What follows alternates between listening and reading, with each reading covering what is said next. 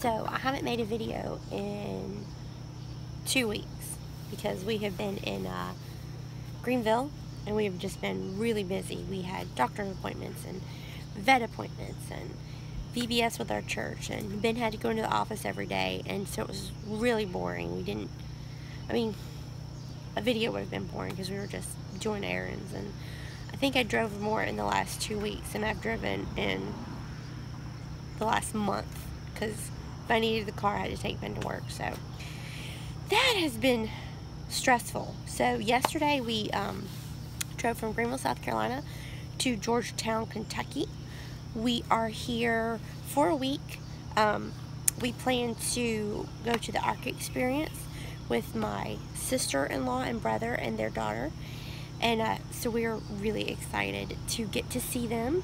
And because uh, we didn't get to see them while we were in Greenville and uh, so we're gonna anyway we're excited about that so we are in an RV park Whispering Hills and it's it's really pretty um, there's not a lot of trees actually in the park which we are starting now to realize how important trees are because we only have one air conditioning and we're 34 feet long. So we have gotten a, um, we got a quote, that's another thing when we were in Greenville. Ben had to pack up the RV one day and he took it to an RV place to get an estimate on getting a second air conditioner put in. But the problem is, is they're basically booked out until October. And it would be three to four weeks to get it done. And by October, I don't feel the need to get a second air conditioning. So we're thinking about putting it off until spring um, because then we can actually plan for it.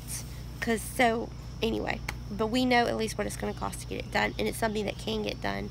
Another interesting thing is we got a quote on a composting toilet. And that is something we are really seriously thinking about because we were at uh, Paris Mountain State Park and having to deal with not having full hookup was so not fun. Um, and if you have a composting toilet, you don't have to worry about that. So that's something we're kind of thinking about doing um, in the future. But, so I was going to show you our setup here. We, so this morning I went on a walk and I really think we have the best, one of the best sites. We have one of the few trees um, and we're kind of at the edge. I'll show you. So, when you look out, it's basically a sea of RVs there's no trees but if you look over here we back up actually onto like some farm property which is